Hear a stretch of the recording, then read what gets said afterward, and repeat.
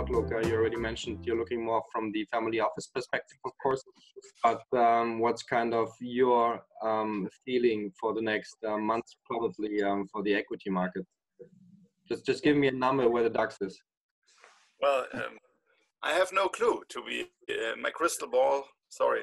Now the, the question really is uh, how people are positioned. Uh, the latest things I saw is that you have a massive amount of retail money coming into the market. I think we have to wait what's going on on the on the uh, economic side, and uh, we are we're having which we all didn't experience yet. I mean, if if we would have been here together six months ago, and we would have been talking about uh, 40 million uh, first timers not not working in the US or so many people around the world being jobless. I mean, it's a high deflationary impact we have here, and uh, I'm not sure this uh, this game is already in the end. So I, I would stick to the to the cautionary side um, and stick to business models which are uh, there, and but to keep also some cash um, and and don't bet the farm. We would neutral, um, as I said before. Yes, um, I think a lot of a lot of these positive factors, like um, help from the from the government, from, from the central bank, are already priced in. That's okay.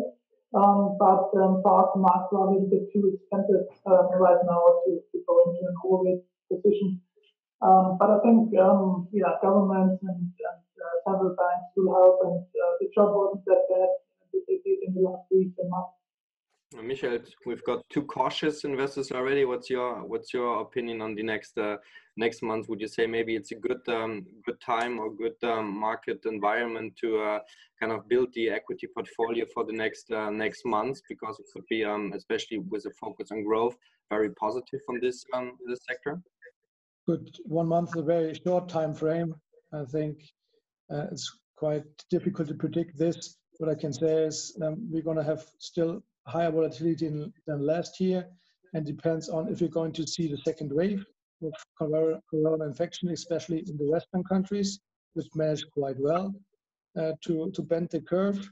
And the second one is uh, the whole trade war thing with uh, Trump and China. So coming coming closer to the U.S. elections in November, Trump is going to be uh, more and more motivated to scapegoat the Chinese for everything that went wrong in the U.S. And we'll see on his uh, press conference today, I think it is, um, how he's going to tackle uh, the, the, Chinese opponents again. And that's what's going to um, defi- going to going to define the, the short term on the, also on the equity markets.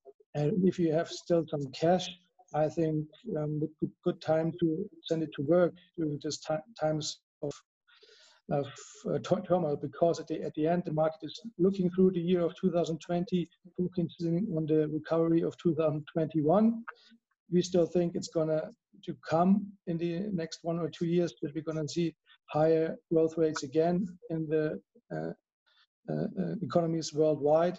So it doesn't make sense to hide in the trenches and you send your money to work and uh, I still can give you any DAX projections for the next month or, or, the end of the year. I think besides the markets going up or down, um, Marc, how um, or how central or essential is it to be uh, kind of to select the right stocks and of course uh, have the right, uh, as you already mentioned, um, sector allocation? Well, that's uh, definitely uh, the key for at least for our um, for our approach to really go to the right sectors as well as to pay uh, very high attention to the selection of the stocks. And um, we have to take into account um, that there are so many money flowing into the market through the central bank policies as well as um, all the measures which were taken um, to to um, to keep the markets buoyant. And we also shouldn't under expect or, or underestimate um, the power of flows into the equ equity market, especially with these um, tight uh, yield values we see in the fixed income um, universe. And uh, all put together, I think there is a good, a decent chance for the equity markets to stay at least buoyant. Um, but uh, there is a choppy road ahead for sure, a very choppy road. And there are so many Damocles swords um, hanging around, like the US and Chinese uh, trade tensions, which still are not uh, solved. You should have uh, money back in your um, uh, in your purse to to to stay in in the possibility to invest the money uh, if chances arise, and there will chances arise for sure. Mm-hmm. And Raj, uh, your final words, your portfolio is, um, as you already mentioned, very concentrated. So it's a high focused um, portfolio. So it's vital for you to pick the right stocks. Um, maybe what's your outlook for, for your portfolio and um, how would you say um, the you will position your portfolio through this uh, Corona crisis? The portfolio is diversified within the growth space. So we try and get different kinds of innovators into the portfolio. And so for us, um, all the predictions of what the market as a whole will do or what earnings for the market as a whole will do for the, this year uh, is clearly irrelevant anyway for the market. But it's, it's almost impossible to say for 2021. Uh, what we can say is that we are finding great opportunities, companies that were doing well already, for whom the growth rate is actually accelerating and the structural growth opportunity is increasing.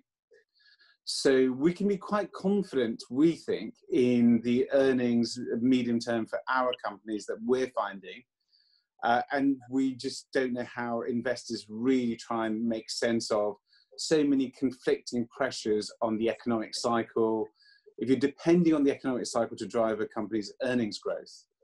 And so, you know, I would, I suppose I would say this because I, have done 30 years in the equity markets, but I'm gonna, I'm gonna have this uh, plug, which is that, you know, holding cash when the policymakers are saying, you know, they want zero interest rates on cash or negative interest rates on cash around the world when supply chains are disrupted, there is clearly more inflation risk around the world. You know, it, it, seems to me like a very brave thing to do to hold a significant amount of cash. You know, when you look at the FANGs and technology and the secular growers, it's important to separate out those that are slightly more mature, that face more regulatory risk, like the social media companies, from those that are really at the beginning of a growth journey where the next five years of great growth should come from.